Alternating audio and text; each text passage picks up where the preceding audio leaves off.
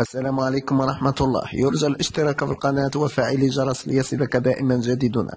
قرر معظم مسؤولي المؤسسات والمراكز الجامعية تعليق النشاط البيداغوجي الحضوري إلى بداية فبراير القادم بسبب تزايد حالات الإصابة بكوفيد 19 خلال الفترة الأخيرة مع الإبقاء على تلقي الدروس عن بعد.